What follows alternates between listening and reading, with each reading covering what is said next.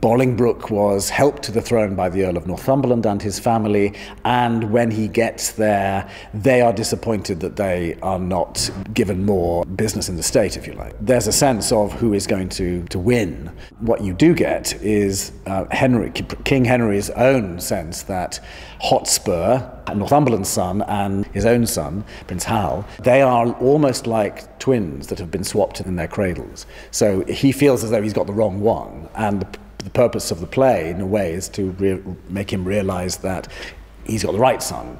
Um, and Hal has a uh, surrogate father in, in, in Falstaff. Henry IV, Part 1, has a sense of completion to it.